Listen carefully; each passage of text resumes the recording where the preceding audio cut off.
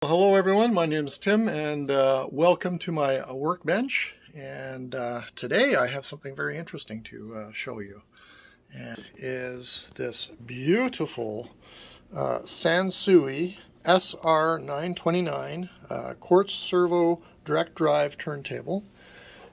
this thing is absolutely massive. It weighs a ton. I think this weighs even more than the Kenwood Rock because this is a very similar kind of uh, uh, plinth on these. Uh, piano finish, black piano finish.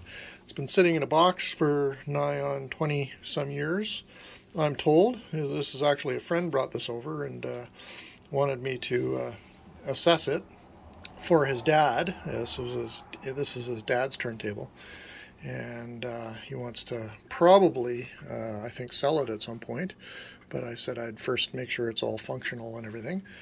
So uh, I've literally just unboxed it. It came in this little box here. It doesn't have the original uh, packing material inside, but uh, uh, it does have four feet, screw-on feet that are on the bottom here that are completely adjustable. So I've got them at the midpoint on them. And yeah, really, really solidly well built uh, turntable, I gotta say. Um, I'm very, uh,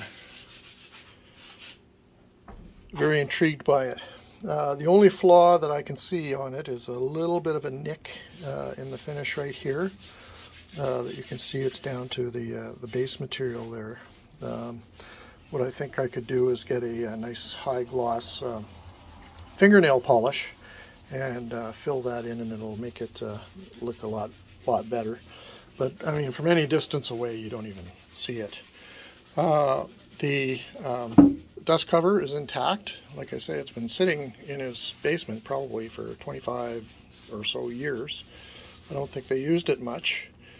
Uh, arm looks like it's in really good shape. It looks like it has all little small little cables but uh, you know, I, I'm not familiar with the turntable, so I'm going to go down and go and download the service manual and the uh, and the uh, user manual, and uh, basically see what uh, basically see what um, I can do to this thing to uh, make it perform like new. Uh, obviously, they didn't know how to set up the cartridge because they didn't have any. I don't think the overhang was set up properly. Um, so it's got a Empire cartridge in it. I think they uh, didn't spend a lot of money on the cartridge, but uh, I'll, I'll look that one up as well, find out the model and everything. And uh, probably doesn't have a lot of hours on it. And I did run it up for power, so we've got power. I've got the quartz uh, servo button depressed, so when I'm on 33, you can see the, uh, the indicator there that it's on 33, and if you look at the strobe, I can get it at the right angle here. We're in kind of sunlight. I'm going to set this thing up inside where it's out of the direct sunlight. I just wanted to show it in sunlight just because it's hard to uh, photograph things that are uh, uh, black or piano black finished. So you can see that the, uh, the speed is rock solid on the quartz servo and uh, that's 33 and if I switch to 45 same thing it just jumps right to uh, solid speed heavy heavy platter um, heavy heavy plinth if I turn the, the servo off it doesn't move anything and you've got a pitch control so you can uh, adjust it manually if you uh, if you uh, wanted to do that like a DJ would um, but this is not a DJ turntable. This is a, a very sophisticated, um, high-end uh, home turntable. Um, I would reckon from the mid 70s, but uh, mid to late 70s.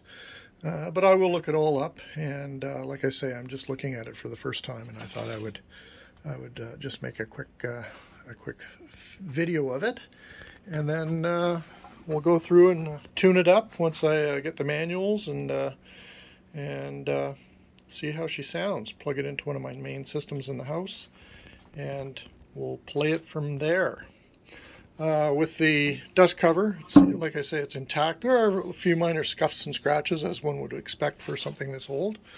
Uh, however, there's nothing, no deep gouges or anything, so what I'll do is I'll use Meguiar's um, headlight polish kit that I use for turntables, and that'll buff that thing up to uh, just about new and uh, get rid of all, you know, some of the scuffs and everything on it. There's really no deep gouges. They're just like really faint, faint little uh, marks or whatever. So that'll that'll buff out really, really well, I think.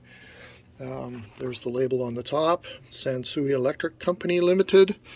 And once again, the model, Quartz Servo Direct Drive Turntable SR929.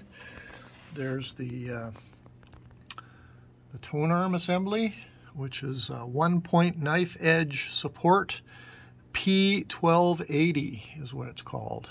And you can see all the weights and everything appear to be present. And uh, I haven't even balanced it, so uh, I haven't even done a, uh, uh a proper setup of the cartridge or anything. I want to get the overhang distance and uh, uh, get a proper template and set everything up accordingly.